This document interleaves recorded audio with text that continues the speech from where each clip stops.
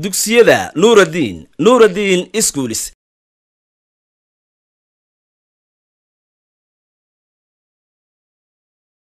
bismi illaahi araxmaan araxiim alxamdu lilaahi rabbi alcaalamiin wasalaatu wasalaamu calaa rasuuli illaah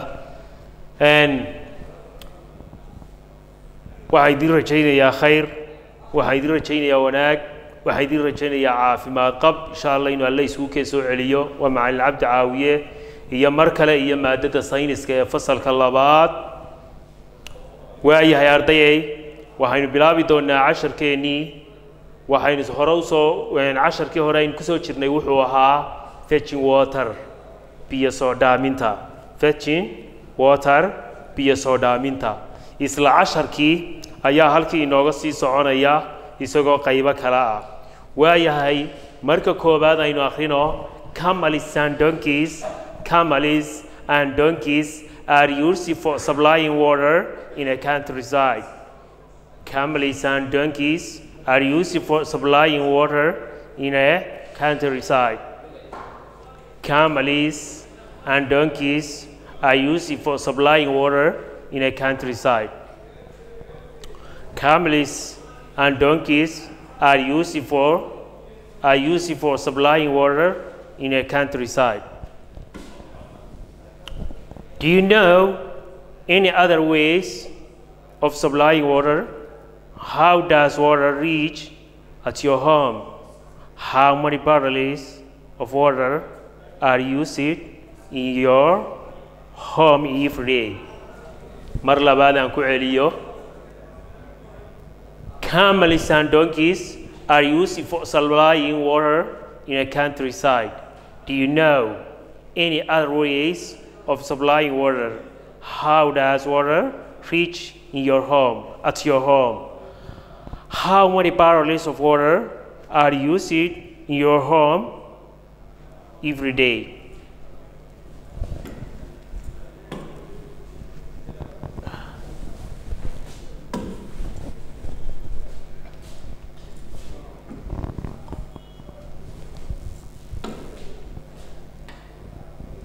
Waayahay safe in cleaning uh, water cleaning and safety water cleaning and safety. Water cleaning and safety. Look at the picture. Do you think that water in this dam is safe for drinking? Is this water clean? Add a reason to your answer. Water in dam is another source of, of and other sources might be dirty. Some dirty substances might fall in water. Animals come in and drink water in dams. Animals urinate and dung in a water. Therefore, water become dirty. We should clean water from dams before we drink.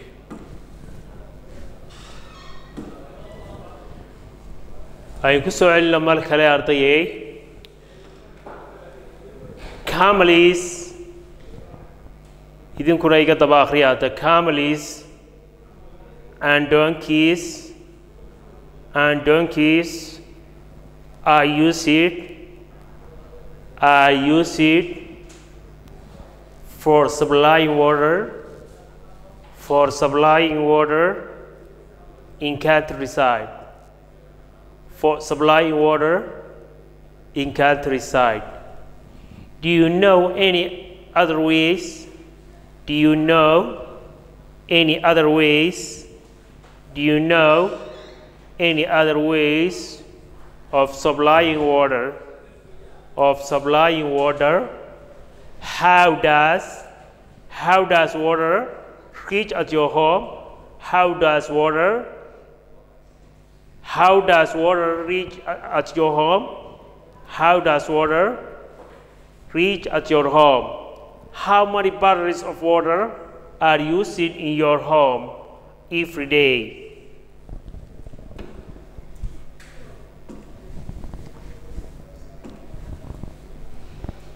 Water cleaning, water cleaning and safety. Look at this picture. Do you think, do you think that water, do you think that water in this dam is safe for drinking?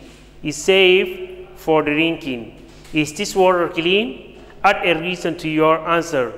Water in dams and other source of water uh, and other sources might be dirty. Sometimes, sometimes rare substances might fall in the water. Animals come in and drink water in dams.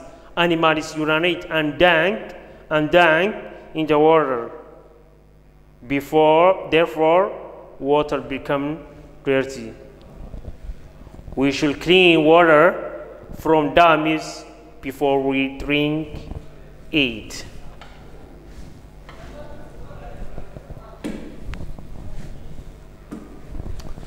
Waayahay ardayay waxaynu tegi doonaa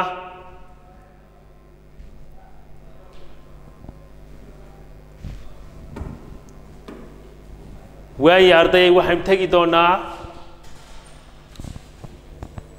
micnayntii casharka camalis awrta and donkeys iyo dameeraha are used waxaa loo isticmaalaa for supplying water in biyaha loogu qaado ama lagu gaarsiiyo in countryside.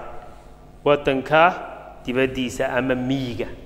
Miyiga waxaa la isticmaalaa ardayay miyiga waxaa la isticmaalaa si biyaha loo qaado dameero iyo awr sidaa daraaddeed iyagu ma isticmaalaan inta u badan camalis awrta and donkeys iyo dareeraha dameeraha are used waxaa loo isticmaalaa for supplying water in biyaha loogu dhaamiyo in countryside waddanka dibaddiisa ama waxaa looga jeedaa countryside waa baadiyaha ama miyiga. Camalis awrta and donkeys iyo dameeraha are used waxaa loo isticmaalaa for supplying water in biyaha lagu gaadhsiiyo in countryside miyiga. Do you know ardayow ma taqaanaa? Do you know ma garanaysaa ardayow any other way hab kale of supplying water oo biyaha lagu qaado ama lagu gaadhsiiyo meel? Do you know ma taqaanaa any other way hab kale of supplying water oo biyaha lagu dhaamiyo ama lagu qaado meel lagu gaadhsiiyo. How does water reach? Sidee bay biyuhu ku soo gaadhaan at your home gurigaaga? How does water sidee bay biyuhu reach at your home gurigiina ku soo gaadhaan ma booyad baad dhaansataan ma qasabad baa idiin soo dhacda ma jirikaamaad ku soo qaadataan ma dameer baa idiin keena kaasaa lagu weydiiyey. How many barrels imise foosto of water oo biyaha are used ayaad isticma ayaad isticmaashaan in your home every day. Maalin walba imise foosto oo biyaha ayaad isticmaashaan do you know ma taqaanaa ardayow do you know ma taqaanaa ardayow any other ways? Hab kale supplying oo loo geersiiyo laydiin soo loo gaadhsiiyo water biyaha. How does water reach at your home? Sidee bay ku gaadhaan biyuhu qoyskiina ama gurigiina how many barrels? How many barrels? Imisa foostaad of water oo biyaa are used aad used ayaad isticmaashaan in your home every day maalin walba? Waaye waxaynu tagnay ciwaanka labaad oo ah water clinic nadiifinta biyaha and safety iyo water cleaning nadiifinta biyaha and safety iyo kaydsashadooda water cleaning nadiifinta biyaha and safety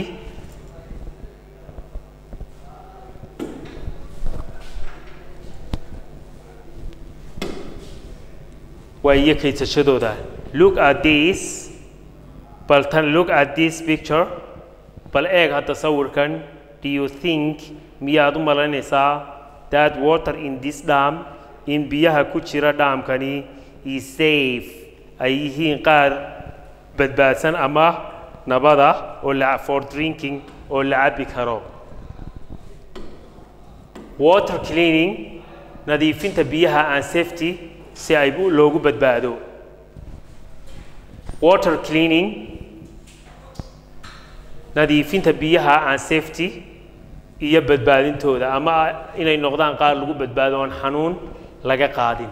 Look at this picture bal sawirka eeg. Do you think miyaad u malaynaysaa that water in this dam in biyaha ku jira dhaamkani is safe for drinking? Ay yihiin qaar badbaadsan oo la cabi karo waad arkaysaa ardayow dhaamka waad arkaysaa? Halkaa xoolaa ka cabaya halkaa dumar baa dhar ku maydhanaya halkaa oday baa soo gelaya halkaa ciyaal yaryar baa ku dabaalanaya. Marka waxaa la yidhi do you think ma u malaynaysaa that water in biyuhu in this dam ee dhaamkani ku jira is safe for drinking? Ma yihiin qaar la cabi karo oo badbaadsan. In this water is this water clean? Biyahani miyay yihiin nadiif? Add a reason to your answer. Bal waxaad soo raacisaa jawaabtaada jawaabtaada waxaad soo raacisaa sababta ay ay ku noqonayaan qaar la cabo ama qaar aan la cabin reasonkeen sababee ama sababee su'aal jawaabtaada. Maxaa biyaha ardayow loo cabi waayey? Bal adigaa lagu weydiiyey. Water baa lagu yidhi biyaha in daamis ku jira dhaamamka and other sources iyo mee ilaha kale my be dirty waxay noqon karaan wasakh. Water in daamis biyaha ku jira dhaamamka and other sources iyo ilaha kale may be dirty waxay noqon karaan qaar wasakha. Sometimes marmaha mararka qaarkood dirty dirty substances walxaha wasakhdihii wal- walxa wasakha may fal ku dhaca in the water biyaha. Animals come xayawaanaadkaa yimaada in and drink water the dams waxayna ka cabbaan dhaamka laftiisa animals urinate xayawaanaadku way ku kacaan and dank wayna ku saaloodaan in the water biyaha. Animals xayawaanaadku urinate way ku kaajaan and dank wayna ku saaloodaan in the water biyaha. Therefore sidaa darteed water biyuhu becomes dirty. Waxay noqon karaan qaar wasakha. We should clean. Haddaba waxay nagu waajibay inaynu nadiifino. Water from dams biyaha laga keenayo ceelasha before we drink intaynaan cabbin. Cleaning water nadiifinta biyaha aan safety iyo badbaadintooda look at this picture. Bal sawirkan hadda ardayow eeg do you think ma u malaynaysaa that water in biyuhu in this dam ku jira dhaamkan is safety inay yihiin qaar u badbaadsan for drinking in la cabo in this water biyaha in this water clean is this water clean? Biyahani ma nadiif baa add a reason sababee at your answer jawaabtaada water biyaha inta dhaamis ku jira dhaamamka aan other sources iyo ilaha kale may be dheerti waxay noqon karaan qaar uskaga. Sometimes mararka qaarkood dheerti substances waxyaabaha wasakhdihii may waxyaabo wasakha may fal in ku dhici kara in the water biyaha. Animals xayawaanaadku come in way yimaadaan. And water and drink water in dam waxayna cabbaan dhaamka biyihiisa.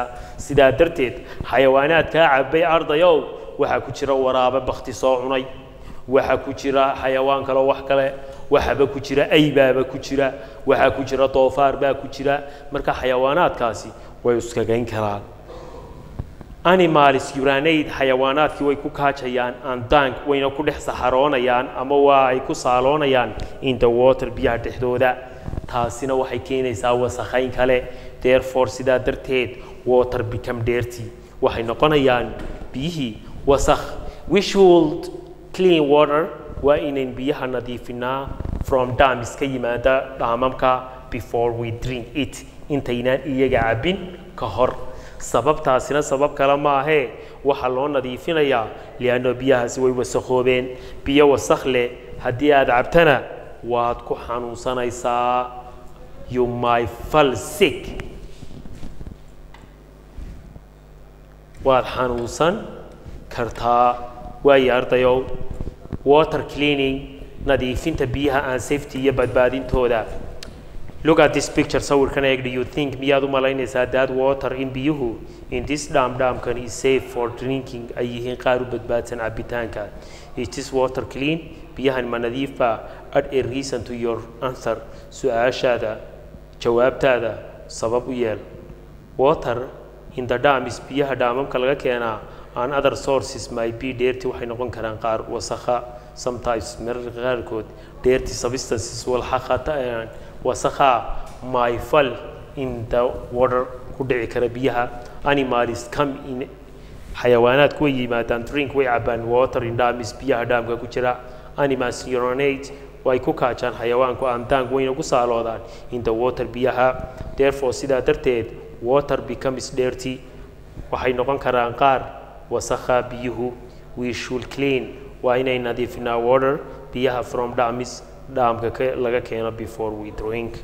Inta aynaan cabin waayo ardayay casharku maanta halkaa ayaabuu inoogu joogayaa hadduu ilaahay idmo. Insha allah dhammaan waxayna layna faro waxa uu dhakhtarku ina faro waxa uu ina faro maxaanku guddida caafimaadku? Waa inaynu qaadanaa waa inaynanu joojinaa. Dhammaan waxyaabaha layna faray oo ay kow ka tahay isku imaatinka. Waxaad arkaysaa ardaydii iskuulka laga fasaxay oo garoonka jooga. In badan baan ku agmaraa qaar badan. Taasoo kale waxay keenaysaa in xanuunkii nagu dhex faafo. Waxaad arkaysaa dadkeennii oo maqaaxii buuxdhaafiyey taasi waxay keenaysaa maxaan ku dhahdaayey in in cudurkii faafiya xanuunkii sidaa darteed waalid iyo arday iyo cid kastoo ay daawanaysaba waxaan farayaa waa inaynu raacnaa talada dhakhtarka. Caalamkii tegey ee quwadda sheeganayey ayaa waxba ka qaban karila oo maalin walba kun dhimanaya oo maalin walba boqolaal dhimanayaan. Sidaa darteed waxaan idinku waaninayaa dhammaantiin talada dhakhtarka talada guddida caafimaadka. Intaba waa inaynu qaadanaa wasalaamu calaykum waraxmat ullaahi wabarakaatu